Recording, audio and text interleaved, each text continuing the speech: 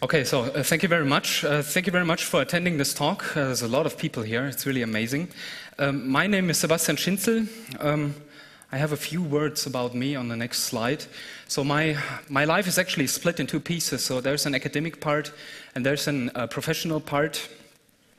For the academic part, uh, well, I'm uh, right now doing my, my PhD thesis at the Security Research Group in Erlangen with Felix Freiling. Uh, and I have to say that I handed in my PhD thesis last week, so that is a very good reason to celebrate. Thank you very much. Okay, the, the second uh, thing of my, of my life is uh, my professional work at Virtual Forge, where do SAP security, and SAP has, has this la uh, strange language called ABAP, and I did certain things to this, and also static code analysis, penetration testing.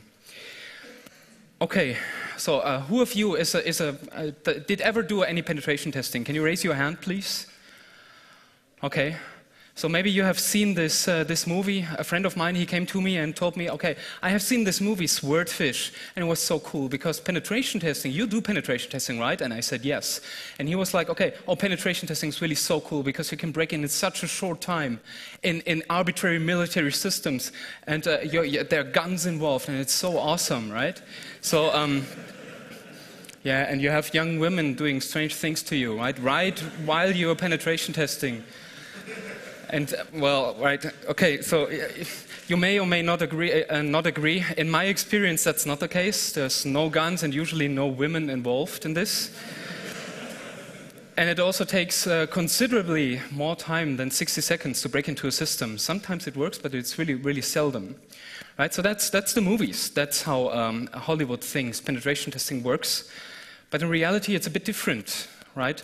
So um, actually, um, I mean, penetration testing is split in, in, in, in, five different pieces. You have preparation, and then you start uh, gathering some information on your target system. You evaluate this, the, this, information, and then you do the actually 60 seconds part where you do the, uh, the exploitation and the testing and, and, and, stuff like this, right? Okay, what I show today is um, a little bit of testing, a little bit of exploitation, but uh, more gathering information.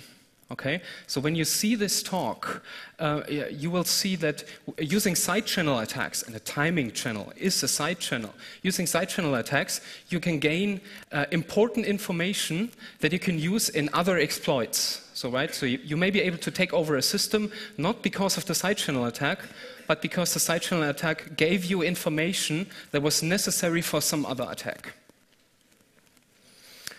Okay, so um, that's the Pentagon right? That's the Ministry of uh, US Foreign Affairs. And um, well, what, what, do you need to do in order to know when the next, when the next big attack will happen? right? So when they will attack Iran, let's, let's put it this way, right?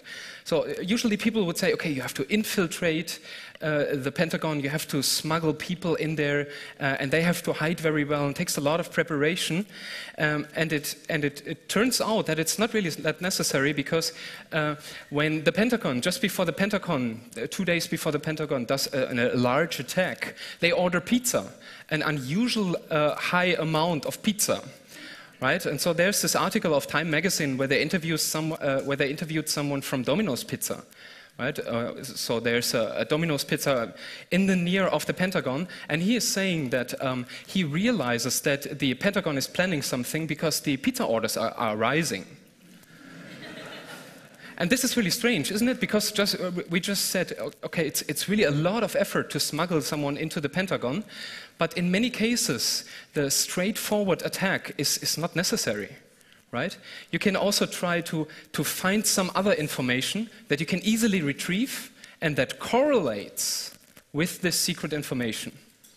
Okay? And this is what side channels are about. Side channels are often um, uh, they're, they're, not really difficult to attack, or they may not be difficult to attack, but it's um, uh, finding some information that correlates with a secret is, is, quite, is quite challenging, right? So, okay. So, you guys have done uh, penetration testing, and what you do there is usually you do invasive attacks. Okay? And what's an invasive attack? So, you have usually the original control flow of, um, of an application that you're about to attack And when you do an invasive attack, and that could be a buffer overrun, SQL injection, format string injection, cross-site scripting, and things like that, um, what you do there is you create your own control flow in this particular application. Right? So let's say this here, if this were a web browser, then you can make, using a buffer overrun, you can transform a web browser into a web server, if you want. Right? You can do this. Um, with uh, side channel attacks, it's a bit different. Right? So you don't actually attack the system, you use it as the designers intended their usage. Okay? So um, you stick with the original control flow of everything.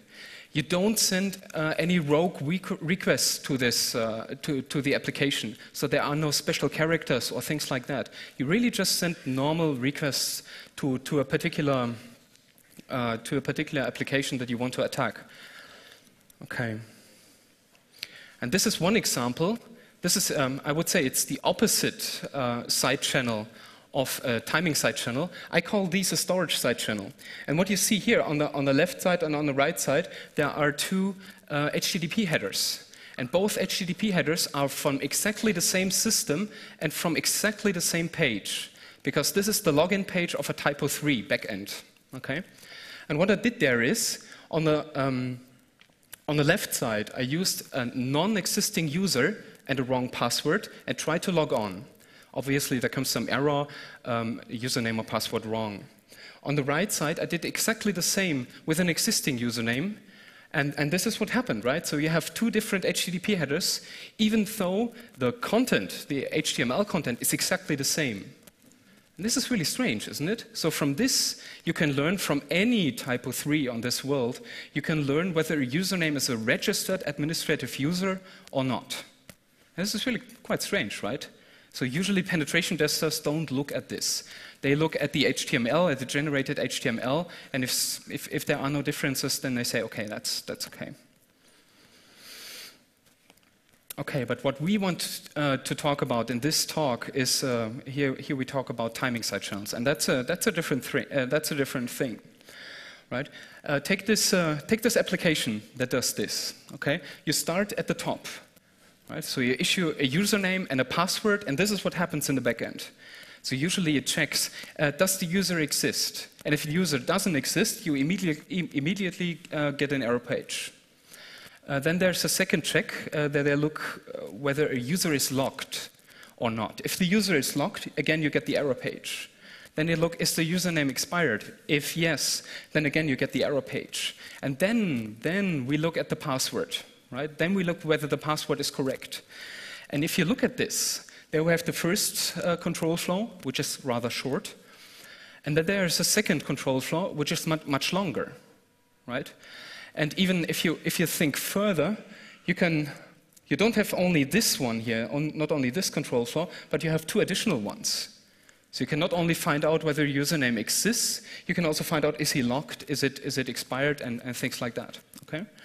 So this example may or may not be security relevant, right? So there are systems uh, on the internet where this would be security uh, relevant. There are others where, where, where this is not relevant.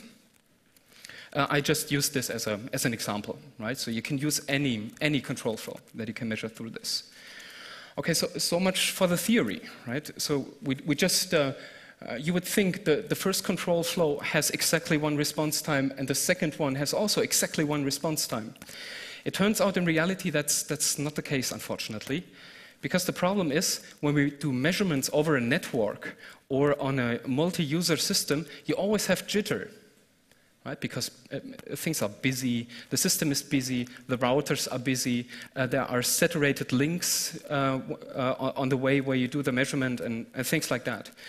So uh, what, you, what you can only measure, what you, what you want to measure is, is the, res the response time t, but what you can only measure is t plus the jitter that you get. And I think it, it really boils down, this is, this is the target of this, uh, of this whole talk, to enable you, to show you certain things, how to remove this jitter from this, from this timing. Okay. Now that's, a, that's an histogram that you see here. On the x-axis, you have the response time, and on the y-axis, uh, you have the amount of measurements that were at this particular response time. Okay, so what I did here is uh, I did, I did uh, several measurements here, and that's the graph that appeared. So there are, what you see here, this is not zero, but there are some, some measurements which had this particular value, and there are a lot of measurements right here. Okay, and when we do a timing attack, right, this, this doesn't tell us anything because it's just, we just did some measurements. What we need to do is we need to compare this particular measurement with something else right? So we use a different secret, this could be a different username, and try to compare it, okay? And this is what we might get, two different distributions. And when you, when you look at this area here, when we get an, an, a measurement in this area, we don't really know to which it belongs. Was it an existing username or was it a non-existing username? Because for both it is possible, right? So there's a lot of overlap in the timing measurements. Okay, that's why I came up. I want to show you a few do's and don'ts of, of timing measurements. Okay, because what you want to do is you want to achieve uh, timing precision, right? So you want to measure as exact as it is possible, okay? Uh, there's a paper which is in the reference uh, from uh, Scott Crosby, and he claims that you can measure even down to a few hundred nanoseconds over a network, over a busy network right? So when you do the right thing, but obviously this guy is an, is an academic guy, so he did millions over millions of measurements, right, and compared these, and that, that was the best result that he could achieve. Uh, what we want to do is uh, we're penetration testers. We have limited amounts of time. We want to go to a customer and do a penetration test against the system and, um, well, see whether it's, it's vulnerable or not. Okay. So first of all, what we want, we want to use a very fine-grained timer. And there's certain, certain uh, things that you can use as a, as a timer. Uh, this is just one of it. Uh, there's an assembler instruction called RDTSC, and that's the source code, the, the C source code that you could use to take this. Okay, so what, what does it do, RDTSC? It gives you um, the amount of CPU ticks um, that appeared during uh, or after boot up, right? So it's very, very fine-grained, okay? And here we have how fine-grained it is. So if this uh, computer were a 2 gigahertz machine, then you get um, a resolution of, uh, of half a nanosecond. So this is very exact. You can get very exact timings. So it's very good because the, the faster your, your CPU is, uh, the, better, the better you can measure. But it's also a problem because the timings are tied to the, to the CPU clock speed, so there's a problem as soon as you have uh, power management enabled. Right? So when you have power management enabled, your CPU might, might decide that it's right now it's idle, and therefore I um, reduce my, uh, my frequency. And when this happens during, a, during your timing measurements, all of a sudden you get a gap, you get a jump, right? And this may really se severely mess up your measurements. What you also want to do is you want to parallelize measurements. So that's the naive measurement approach. That's not a parallel, parallel but it's more um, uh, like in a row, where you do the measurements in a row. So first of all, you start uh, and measure uh, one data set. I call this A, right? And you do the measurements of A. That could be an existing username. So you make 100 requests an, with an existing username. And then you make the second data set where you take, uh, again, 100 measurements with a non-existing username, and then you try to compare them. The problem here is that the jitter that was, that was added to both of the measurement um, sets uh, may have changed between both. Right? So um, it's, uh, we will see this later on. Uh, jitter is also a very temporal thing. So you may have, uh, at this particular second, you may have jitter of 5 milliseconds, and uh, a minute later it may be 2 milliseconds. Therefore, it's much better when you measure alternatingly, right? So you take an existing username, do, do one measurement. Then you take a non-existing username, take another management, and so on and so forth. And the good thing there is that the changes in a jitter over time uh, affect both data sets approximately the same. Okay, so we have the, the same effects in both datasets, approximately. So that's much better when you do this. Then a different thing is uh, you need to decide where you start the measurement and you need to decide where to stop the measurement.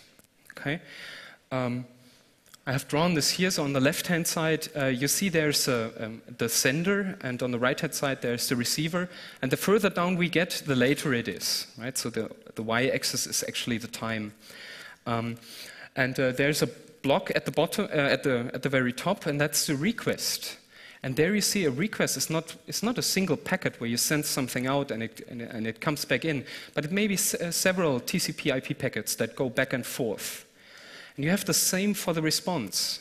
Right? So you receive the first packet of the response, then a second, then a third, and there are acknowledgement package, uh, packages going back and forth. Um, and the problem is with, with each and every round trip, you add the jitter to it. Okay, so if you have 10 round trips, you also have the jitter of 10 round trips. So you want to reduce the amount of round trips that you do. And there are um, three different, three different, uh, different ways that I have detected what you can use, uh, that you can use as a starting and as an end endpoint. So there's first of all at the very outer part, there's the naive approach. Um, then there's uh, an approach that I call when you use blocking sockets. I'll go deeper in this on the next slide. And uh, per packet timings. Okay, let's look at it um, at, at more detail. So that's the naive approach. You start the timer, you take your request, send it over, uh, and then you uh, receive the, the response, right? And when you have fully received the response, you stop the timer. That's a very naive approach. Uh, we can make this a little better uh, because in most operating systems you have, you have uh, blocking sockets. And that means I can do the following. I send n minus 1 bytes of that particular request and wait until it's finished. Then I start the timer, and then I send the very, the very last byte of this particular request. In most cases, this uh, will result in just uh, one TCP packet with one byte payload. Okay? You have already started the timer, then you receive the full response, and then you stop the timer. Okay, you may ask yourself, why don't you start here when you, when you receive the first packet? Well, the, the, um, the reason for this is um, when you have, let's say you have Apache, web server Apache, um, and you send over this request to the Apache, and then the PHP application, let's, let's let, let it be a, a PHP application, while this PHP application is running, um, Apache may decide to already send uh, the, the response headers asynchronously. Okay, and if you measure this, you don't get the actual PHP application, but you get the, um, you, you, get the amount of time that it took the Apache to, to send the, the, the response header. Right, so, okay. And then there's the last one. Um, again, you start at the very last byte in the, uh, in the request. And then, if there were a way to know uh, which particular packet denotes the first packet of the re real response, of the PHP response, right, then we want to measure there. That would be the best approach. Because then you have reduced the amount of round trips that go back and forth, and therefore you have reduced the jitter.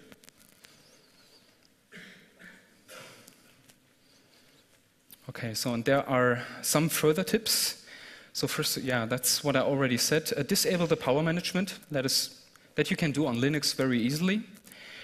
Measure over the wire. So right, so don't use Wi-Fi because when you do Wi-Fi, uh, it may happen that uh, some some other machine is is doing some measurement, uh, and then your packets get dropped and, and, and, things like that because it's just a collision domain, right? Um, do everything to reduce any disturbances on your local machine. So that means any periodic tasks or so. Uh, disable your, um, your email program and things like that. Okay? And uh, also uh, try to keep your part of the network idle. So if you have your home network, a DSL or so, uh, you should shut down the file sharing for the time being and then start your measurement and then do the file sharing later on. Okay? Um, Right, uh, and that's what I added two hours ago. Uh, don't do it from hacker conferences because the network quality is very, very weird. But we're going to see this later on. Okay? And then the last one is uh, the first few dozen or the first hundred uh, measurements contain um, much more jitter because of all the caches that warm up during your measurements. Right, so there are caches on your local machine, there are caches on the, on the, on the distant server, on the routers, and so on. So that means basically throw away the first uh, measurements, right, and use the later ones.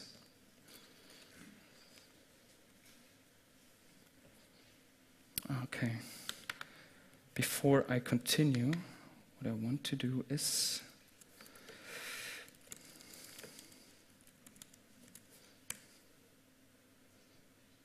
because it reminded me to start the actual demo. Okay, let's continue. Okay, so uh, what I want to, what I want to share with you and the, and the penetration testing community are, are two different programs. Uh, the first one is, is, a programming library, which is uh, written in C. Uh, we call it FAU Timer. FAU is Friedrich Alexander University, on the Erlangen University. Uh, the reason that we uh, have written this in C is because there we can use inline assembler, because we use the RDTSC uh, assembler, assembler thing. Uh, we ported this uh, to Python, so that's what I have already here with me. Uh, and it, it, encapsulates the logic for, for the timing measurement. And if you look at this, this is what you usually do. So right at the top, you have a timing attack script uh, and, and, this timing attack script this uh, calls some network sockets and does all the, all the timing measurement by himself. Right? And what we do here is uh, we use this library just as an intermediate part. Okay? So in your timing attack script, you need to generate a request, and you pass this over to FAU timer, and it will do all the, all the sending back and forth for you, and it will also do the timing measurement for you right? So you don't have to deal with network sockets, and you don't have to deal with a timing measurement. Okay. So let's have a look at this. I've written a very small hello world. Okay, so at the, at the very top, you see there's a request. That's a very simple HTTP request. That's the one that we are going to send to the, to the server. And here we just have, have a loop we do some initialization to this, to this library. Here we send the, the request, and this is where all the magic happens. Okay, this is where, yeah, where, where we do everything. And right here at the bottom, we just get, we just get all the things that we require from the library. So at, at this particular point, everything, everything was done already, okay?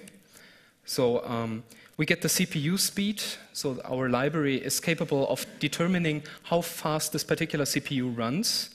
Uh, we get the ticks, we get the time, and we can also get uh, the actual response from this. And if I, whoops, if I let this run, this is pretty much how it looks like. Okay, so it does everything for you. You can just use this for your attack scripts in your in while penetration testing, and just use this library, and it does uh, the, everything that is, that is uh, uh, related to measurement and socket handling and, and so on.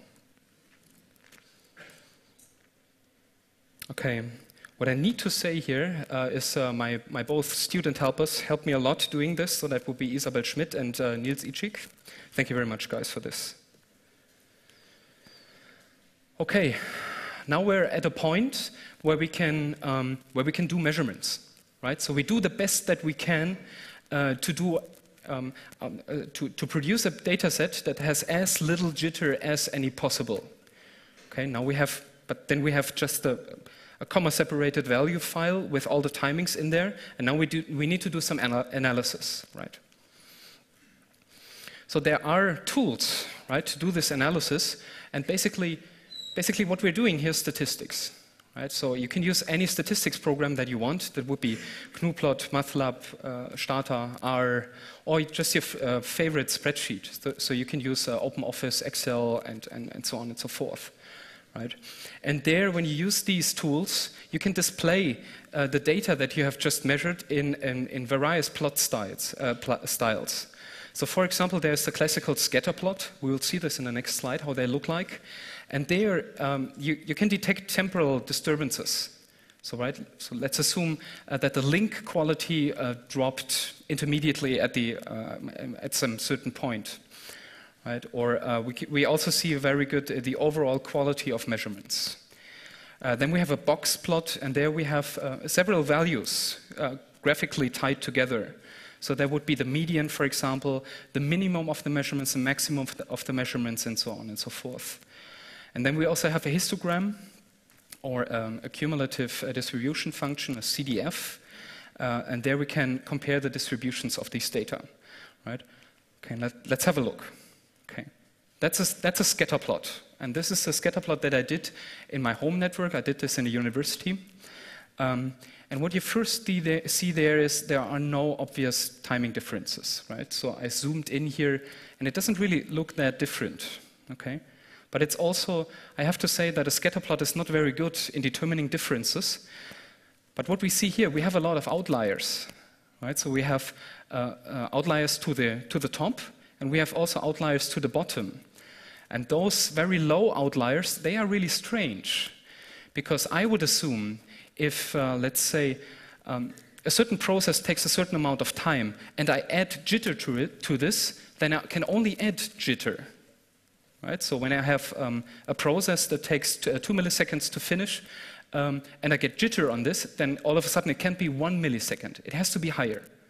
But what we have here is we have outliers at the very bottom. So that's very strange. But you see this in, in all network measurements. You see these guys. And also what, what you see here is where things were messed up in a way, right? So here's a jump, right? All of a sudden here, all the measurements took considerably uh, uh, longer time, and here they are smaller, smaller, smaller. So this, this may be a case uh, of a, of a uh, timing data set that is not very good. Uh, I thought this one was not very good until I came to this uh, Congress. Um, oh, sorry. Animation takes some time. Okay. So that was two hours ago. I was sitting in a, in a speaker's room and I looked at the dashboard of, the, of this Congress, and they told me 18% and 5%. Uh, and then I did an, a, a, demo scan and I saw this, right? Okay, so there's so many outliers, right? So you see a cloud of measurements. You see them here. You see another cloud of measurements here. And you see another cloud of measurements here. This doesn't make any sense right? So this data set is unusable for timing attacks. What you could do, if this is the best that you can, is you could filter out these ones. So it could take this cloud, only the measurements in this cloud, or better, only the measurements in this cloud, and do a comparison on this. It's worth a try, but I wouldn't go so far. I would, if, if you see this, try to repeat the measurement from a different network, for example. Okay, so I'm really not so sure about that. It looks much more saturated to me, the network. Okay, then we have a whisker diagram. And a whisker diagram shows us uh, certain things. So first of all, the, the fine line in the middle is the median, the 50% percentile. And 50% percentile means that 50% um, uh, of all the measurements that we have in the data set are in below this line, and 50%, the other 50% are above this line. Okay, then we have the upper quartile. This is the 70, 75th percentile, and also we have a lower quartile, and there it works just the same, right? So for the lower quartile, we know that 55% uh, of all the measurements are below this, and 75% are above this. Okay, I haven't shown the 25%. And then we have uh, the cumulative uh, distribution function. And you read this as such. So uh, this here is a probability, and this here is a time, the x-axis. And uh, what we see here, this is approximately 75%, uh, because that's a probability. And when we put the line down here, we see we are at this particular val uh, value, and then we know that 75% um, of this are below this particular value. This is just so that you know how to read this particular uh, graph. If you had a uniform distribution, it would be, it would be a line, a diagonal line. Okay, so what can we see here? If we zoom in, um, then we see where, where, where, these two functions are not uh, perfectly overlapping. And those are the ones that we are looking at. Okay? So if you look at the, at the green line, you see certain red spots, and that is the uh, the, the red function luring behind the, the, uh, the green one. And those are the parts where we can distinguish both data sets. This is the ones that we are looking for. Okay. Um, what we have did right now was uh, to, to show it graphically, right? To take our data set and make graphs out of it. Uh, there are algorithms where you can do this as well. So there's, um, for example, uh, the student's t-test or the Wilcoxon test. Those are two tests, hypothesis tests, that will tell you if two data sets are significantly different or not. Okay? And again, uh, Crosby, in this paper that I already mentioned, uh, he, he tried out both of these, and he found that they don't really work very well for timing attack because there, there are too many false negatives and too many false positives. And therefore, he came up with his, with his own um, test, which I don't want to describe in detail, uh, but we're planning to include this in a second tool that I'm going to release today uh, later on. So this is work in progress. We know how to build a very good uh, um, uh, algorithm to compare these on an automatically way, but it's not yet implemented. And I do a demo on this in, in a few slides. Okay? But let's get over for, for the attacks. Okay?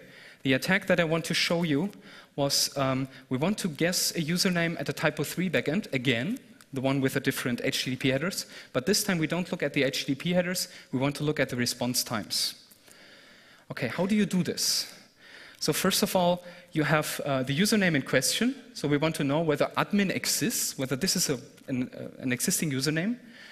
But we need to compare it to something else. So either you know one existing username, or you choose an a username which doesn't exist with very high uh, probability. Right? So you can randomly generate a username and use this as a username which does not exist. And then you compare both, both the measurements. And we also ha have an hypothesis here. We say the login requests with admin take measurably longer than those with something else. Right? So I, I use this particular number uh, and I assume that it doesn't exist. It doesn't exist. Okay. Let's see how many we have. Okay, so only we so far have only uh, 500, 500 measurements, and uh, I think that the, the data set that we get from this will be very bad. So I tried several from this particular network here, and they all look very bad. But we, we, we try them, we try it anyway.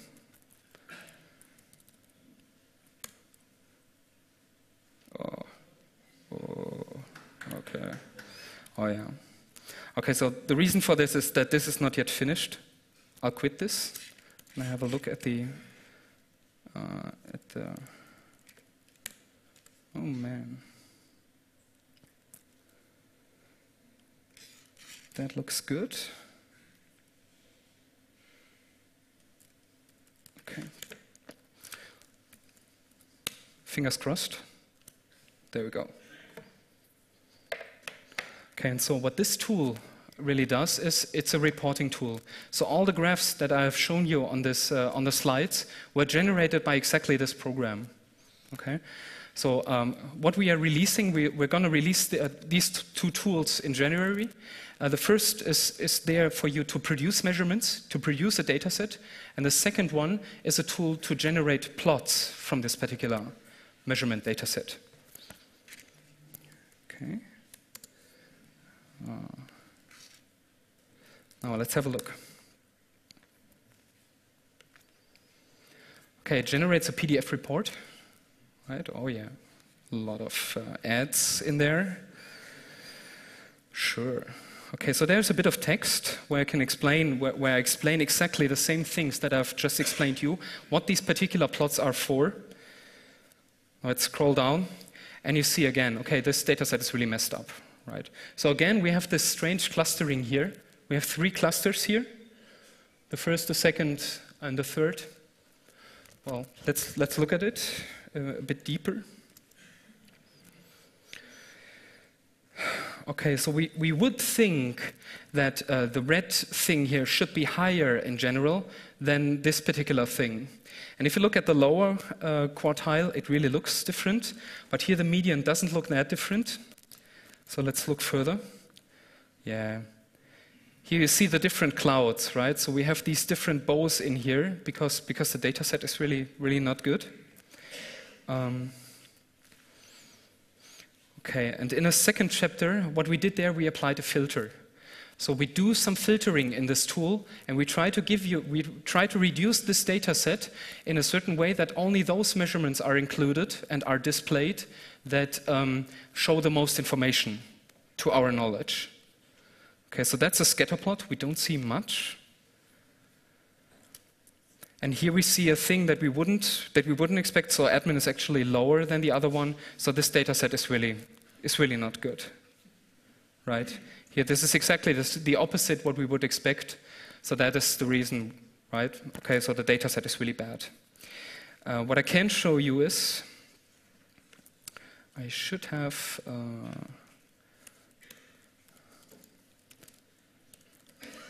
backup report. Okay. Uh, so that's how I would expect uh, a measurement to look like, right? So that's, that's how it's supposed to look.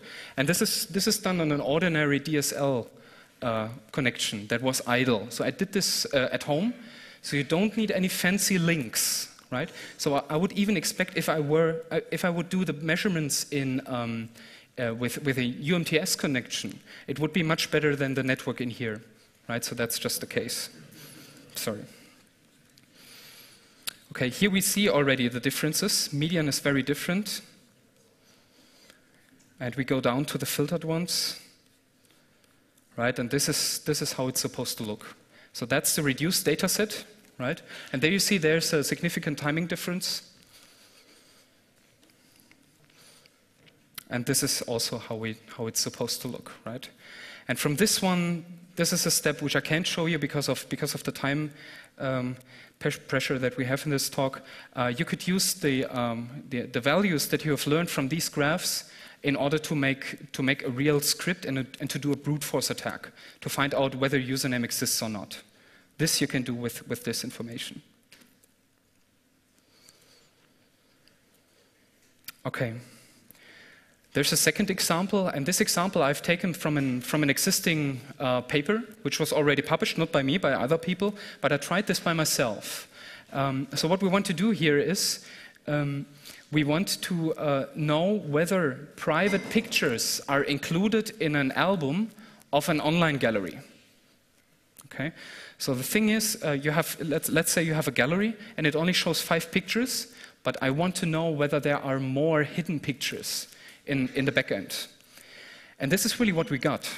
So we, we created a lot of albums, and all those albums only showed a single picture to anonymous users. Right? So down here we have uh, the, the different albums, so the, diff the, the albums are numbered. And here we have the microseconds. And this is not, I have not drawn this by hand, but this is really how the filtered dataset looks like. So you can tell, for example, uh, this particular album here has 10 hidden pictures in it, and this particular one here has 30 hidden pictures in it. There's a, a lot of things that you can do with, with these timing measurements. Um, also, a difference here uh, compared to the typo 3 example. With the typo 3 example, you have a, a, a binary result. So, does a username exist or not? And in this particular case, we don't have a binary thing, we have more like an amount of things. And we can do this using timing as well. Okay, those were the known attacks, and now we have what we call a zero day even. It's even a zero day. Oh my gosh, come on. Okay, so this is a, there's a standard out there, and it's called uh, XML encryption. Um, and uh, well, this is a, the whole thing that I'm showing you right now is joint work with Juraj Somorovsky and Tibor Jager. Uh, so what is XML encryption?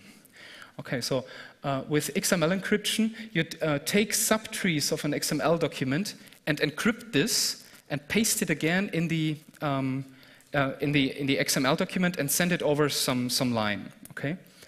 In this case, we have, we have two blobs here. It's, it's a hybrid encryption that they use there. So they use a, a session, um, a session key, which is encrypted with RSA. That's this one. That's the session key. It's RSA encrypted and included in here. And that's the actual data. So this is the encrypted subtree of the XML document that was, that was pasted in there.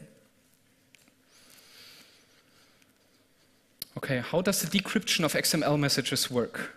So first of all, you take this cipher data and RSA decrypt it, right? Because you want to have the session, the session key. In the second step, you return an error if this, uh, if this session key does not comply with uh, PKCS1. We see later on what this is exactly is. It's in a coding format. Else, if there was no error, if it does comply with uh, PKCS1, we decrypt, C, we decrypt C data over here. Oh, sorry, wrong button. We decrypt, uh, we, we decrypt C data, that is this one. We copy the subtree that we have just decrypted again back to the XML document. Then we pass the XML document and we return an error if the XML was not valid. And that means we have a timing difference and through this timing difference, we can determine whether this is PKCS1 encoded or not, this particular part. That's the first puzzle piece of our attack. Now comes the second one. In 1998, there was a guy called uh, Daniel Bleichenbacher, and he, um, he uh, showed in his paper that you can break RSA within 1 million requests using um, an adaptive chosen ciphertext attack under the condition that you get an oracle. And this oracle does nothing more than tell you whether a certain ciphertext was PKCS1 compliant or not. So that's an algorithm, right? And you don't have to understand the math of this, right? It's really just important to know that when you have RSA encryption and someone gives you an oracle that tells you uh, whether or not a given ciphertext is PKCS1 uh, encoded or not, then you can break the whole then you can break the whole RSA, right? So you get, um, you get ex exactly the clear text out of this. So that's the second puzzle piece, right? I just said, in XML encryption, in this standard, the way that it works, we can determine from the amount of time that it takes to process an, an XML encryption message, we can learn whether it's uh, PKCS compliant or not. And here we have an algorithm that allows us to decrypt it, given the fact that uh, we have this oracle. Okay, how do you, how do you know whether some, something is uh, PKCS1 conformant? This here is how, um, how it looks like. Okay, um, so you have this, uh, you have an, an, RSA encrypted session key, and it always starts with a 002, always. Then you have some padding, then you have a zero byte, and here comes the data block. This is the session key. And what most implementations of XML encryption do is they check whether this starts with 0002. Okay? now, and this is what we have done. Okay. Um, I already told you that um, this one here will only be decrypted if this key that is included here is PKCS1 compliant. And here we can fill in anything, right? Because the attacker can change this. So I can include here a megabyte of data, and this megabyte of data will be decrypted. It doesn't have to decrypt to something meaningful. It just decrypts it. That's all that we need, right? So this is only, only uh, decrypted if this is PKCS compliant, and the, um, the size of this uh, information here, of this data blob, can be set by the attacker. And this is what we did here. So um, what, we, what you see here is uh, the, the, the size of this particular block. So here we have 100 kilobytes, here we have one megabyte, and uh, here you see the milliseconds. And there, for this, we get two different graphs. So the lower one, where the decryption does not start, it's this one.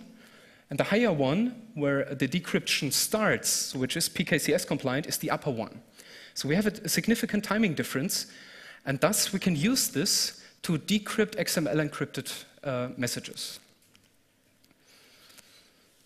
Okay, how did we do this? How did we do the attack?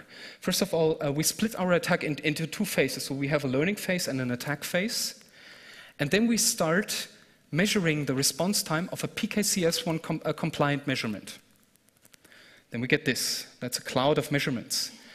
Then we take the lowest one. So we find the minimum, the minimum response time and call it just a PKCS, uh, PKCS1 compliance boundary. Okay? And now that's a question for you. If I get a measurement here, what does this tell me? It's not compliant, correct. Okay, so any measurement below this boundary definitely is not PKCS compliant because the decryption didn't start, right? It didn't start. What happens if I have a measurement here? Sorry? You can't know. That's exactly the case. So when you, when you are here, it's, it is above the compliance boundary, but it could be two cases. There are two cases what we could measure here. First of all, it could be a compliant measurement that would be here, but because of the measurement jitter, it would be above here. Or the second case could be it's not compliant and we have high jitter. Okay? And in this case, what we do, if we have a measurement above this boundary, we repeat the measurements n times. Let's say we repeat it 50 times. And uh, if after 50 times all of them were, were above this, we know it's PKCS, uh, PKCS1 compliant. The good thing about this, I told you this attack takes around 1, uh, 1 million attacks. Most of them are not PKCS compliant. Right? So we don't have to repeat this very often. And that's the actual attack that we did on, the, uh, on, a, on a local host server. Right? So uh, here uh, we used 100 kilobytes of data that we sent over this. Here we have this boundary that I just told you. The upper one are the PKCS, uh, PKCS1 compliant uh, measurements, and the below one are those that are not compliant. And uh, using this, we could uh, decrypt the ciphertext within three hours on, on this laptop. So very fast, actually. Um, yeah, I already said it's 100 kilobytes of C data. Uh, it took us um, uh, um, a little more than 300,000 Oracle queries, but this really depends on the particular RSA key that we used. So it could be above a million also. It really depends on the RSA key. Um, but what is really interesting here is we just needed, uh, on average, 1.24 requests per uh, Oracle request. And that's very fast. That's a very fast timing attack. Now you could say that's localhost. We tried the, the same on, on an internet server. And what we did there is we increased uh, the size of data that's, that's supposed to be decrypted to one megabyte so that the timing gap gets, gets bigger. Okay? And there we could uh, decrypt the ciphertext in less than a week, right? And uh, we also took only 1.2 requests per Oracle query. Right? So that's a feasible attack, also a timing attack over the internet, which works quite well. Okay, uh, one of my last slides. Uh, what, what, time do we have? How much? 10 minutes left. Okay. So, okay, um, this all is work in progress. So, even when I finish my PhD, I really want to continue on this. And that's a call for participation. So, there's uh, many open things in this. Right? So, the, the, these uh, two programs that we are about to release in January, they do very basic stuff. They do the, the right things, but they can be improved. Uh, and there I need students who are looking for master thesis, diploma thesis, bachelor thesis. If you are an open source hacker and want to contrib contribute, you can do this here. Just, uh, just drop me a line. Oh, and uh, what I also wanted to say, um, uh, I'll, um, I'll release the URL of the, of the two programs on Twitter somewhere in, um, in January. So my, my Twitter is, is here. Okay, um, yeah, there's some literature and further reading right? If you're interested really in this, you can look also on these. And that's about it. Thank you very much.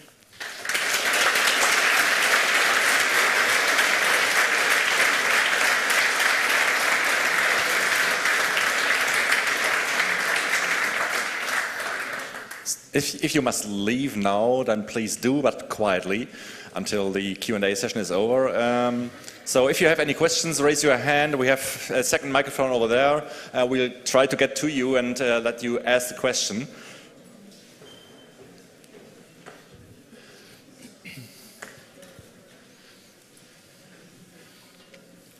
Okay. Hello. Um, in the last um, in your in your last try test, uh, you say you needed a week for for decrypt uh, the XML. Uh, what connection you had in that test? Okay, so that was a university connection, right? So it's uh, it's quite fast. I would say 100 100 megabit. I would say, right? Uh, the reason that it, was, uh, that it was one week was because we, we do have to transfer a lot of traffic. So it's, it's really a lot of gigabytes that we have to send back and forth in order to do the attack. And uh, from, the, um, uh, from the jitter and things like that, it wasn't particularly well, But what we needed is a, a, big uplink. So we needed to send a lot of data, and that's why we did it on the university. But you could do it in theory also with your DSL link, would be sufficient. I think there was someone. Um, in terms of preventing these kind of attacks on my code, the first thing I'm going to do when I get home is add some random sleep statements oh, to yeah. my authentication routines. But is there anything else that you can suggest that might be a bit cleverer than that, maybe? Okay, that's a, that's a very good question. Uh, I have prepared a few slides to this.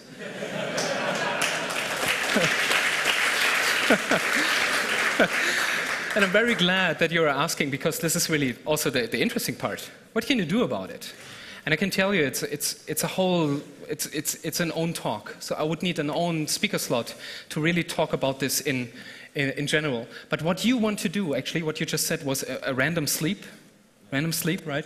So uh, in the first step, you get a random number, and then you do some modulus uh, uh, on this because you want to, to, you, uh, you want to prune this on, to a certain maximum a maximum sleep statement, right?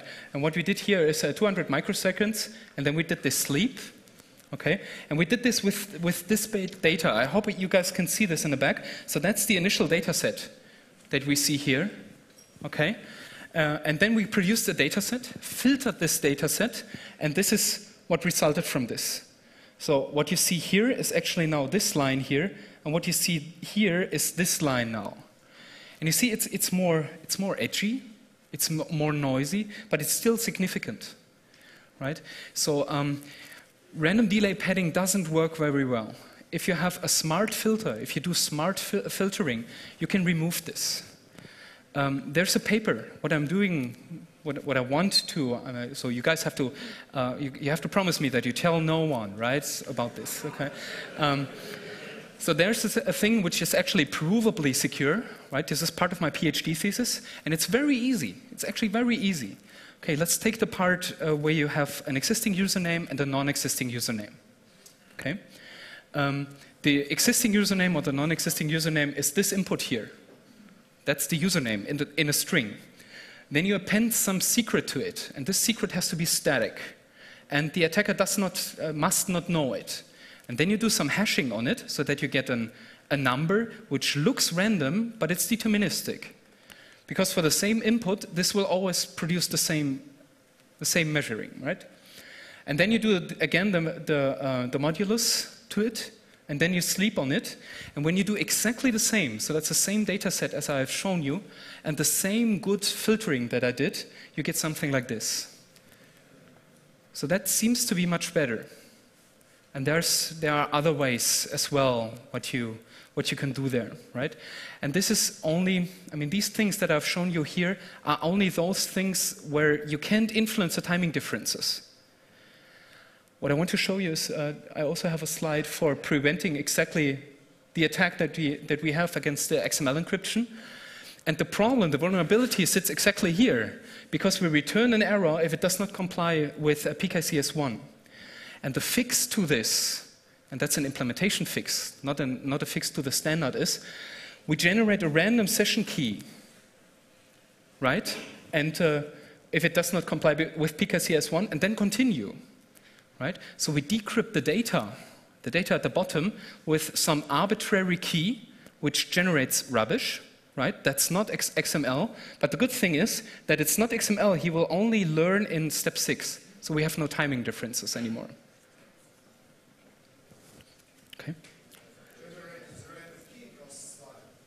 I'm sorry? Yeah, okay, so the question was, the question was that generating, uh, generating uh, a random key does take time. That's true. But what we could do is we could generate the random key here as well. Right? And then we ha just have this single assignment, and you can't really measure a single assignment. I wouldn't say this is feasible. Well, um, as a responsible admin, I would obviously monitor the network traffic for suspicious IPs oh. who try to send gigabytes of data within one week ah. or a ah. couple of hours, and obviously filter out the first wave this way. Uh, uh, especially for Planet Lab, I mean, you said you basically DDoS them in, to a certain degree. Didn't they catch you in some way? Okay, so um, I mean, what we did is um, when we, when we did the measurement on, on Planet Lab, we didn't uh, run it all the way through. And the reason for this is um, we have implemented the Bleichenbacher attack, right? And we know exactly at which particular step uh, a PKCS1 compliant key comes out and when not. And we tried this just for, let's say, 10,000 measurements. And as we had exactly the same signature, right, the same sequence of compliant and non compliant uh, keys, therefore we inferred that it's the, the oracle is working, right? Um, the next thing is um, I see this attack very relevant on, um, let's, uh, let's say, for example, on the Amazon cloud. Right? So uh, let's say you have, your, uh, you, have, you have rented an, uh, a Linux server on the Amazon cloud, uh, and there's a paper which shows what I need to do to be co-located on the Amazon cloud on your particular on, on, so, so, so, to be co-located on the same hardware as your VM, and then I do this local host attack, and there's no monitoring right? So there, I, I, can send arbitrary amounts of data on the, on the local host, and nobody will look at this. Okay?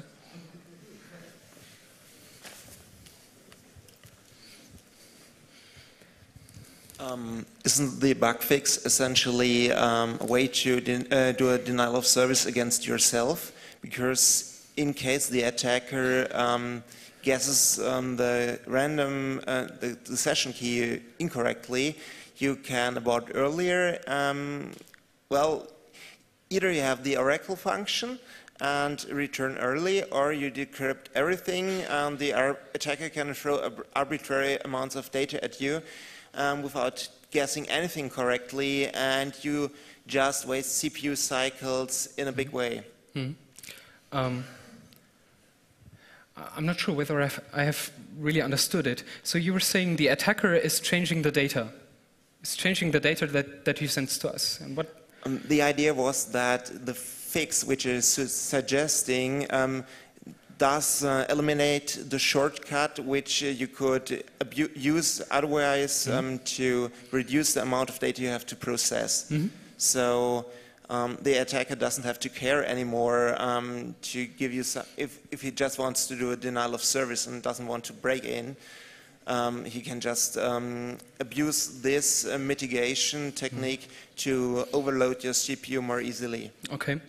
Um, I, th I, think I know what you mean. Uh, you're saying that um, uh, if the attacker sends arbitrary stuff to my server and the server has to decrypt it and so on, he can do this anyway. The reason for this is when he eavesdrop, when he eavesdrop on one uh, XML, uh, XML encrypted message, the one that he wants to break, he already has a key that is PKCS compliant. So this makes him, he is able to actually use the key that he wants to break and send it with some stuff to the, to the server, and the server will decrypt it, also in the vulnerable case.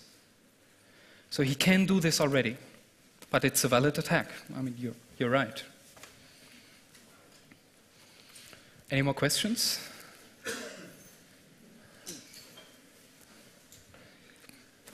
I would like to know, uh, so your tool, how, how low can, can it measure? So for example, if you make an attack local network, if you make an attack in, in on the internet, mm. and uh, like, like you said on Amazon, so what, what can you measure? You can measure microseconds, how many, and this kind of, this kind of stuff. Okay, so I have been down to a few microseconds on the internet, but this is, um, um, so the, um, what, you, what you can do always is uh, if, well, let's put it this way. If you have a timing gap that is very low, right, what you can do is you, you, you measure a lot of times. Well, let, me put, let, me give you an example. If you have 10 milliseconds, you can, you can measure this with five, five requests. That's enough in order to cancel out the jitter. Um, if you have a timing leak of five microseconds, you may have to, uh, you may have to measure a million times, even more, right? So that is, mm, there's no hard boundary of what you can measure and what you can't measure. It's more like a question of feasibility. Right? It doesn't make any sense to send uh, billions of requests and to wait 10 years for this. Yeah. Have you looked at the feasibility of guessing HMAC values based on the time it takes to compare a valid HMAC with the invalid input? Uh, okay, no, character I by ha- character. No, I haven't done it, but it's on my list, right? So I really want to do this. That's that's a very good one, right? So what you're talking about is more like. Um, uh, if there's a login, right, and you um, in the backend there's some hash comparison because the password is not stored in clear text; it's, po- it's stored as a hash. And what the attacker does is he sends over a hash that starts with zero, and then he's uh, measure. Then he does the same with uh, with a hash that starts with one and two and three and four, and. Uh, at one measurement, he sees that it takes a bit longer because the hash doesn't stop at the first comparison, but he goes to the second one. And so you can guess, yeah, you can, you can iterate through the hash values much more easy. Yeah, I, I'd like to do this. I've never done it. Okay, thank you for your. Probably yes. Yes, it's awesome. Thanks. Thanks for this talk. Have a round of applause.